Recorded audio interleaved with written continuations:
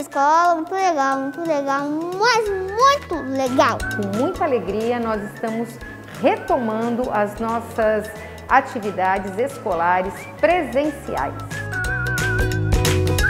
Quando eu chego na escola, o tio Renato mete a temperatura em mim e aí eu passo álcool em gel e eu vou pro X.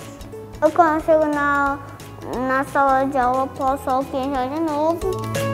A minha mãe fala que não pode encostar no corrimão, que depois, quando a gente é, desencostar no corrimão, tirar a mão do corrimão, aí não pode tocar a mão na máscara, tem que colocar o álcool gel para trocar a máscara. Ela fala que não pode beijar, não pode abraçar, não pode tirar a máscara perto do amiguinho.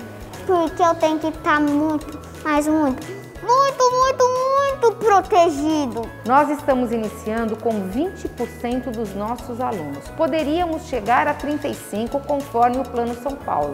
Optamos pela cautela, pela responsabilidade essa primeira semana, para que a gente possa fazer um monitoramento também do retorno dos nossos profissionais de educação.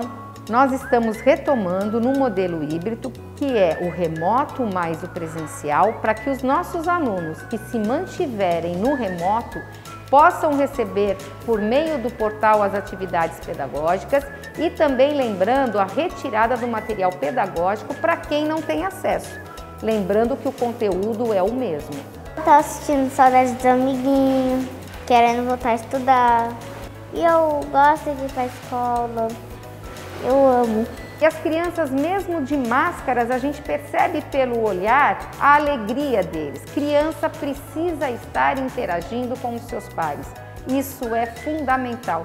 Não só a questão pedagógica, mas a questão emocional também dos nossos alunos precisa se levar em conta e a necessidade desse retorno é urgente. Educação aqui em Santos é prioridade e essencialidade.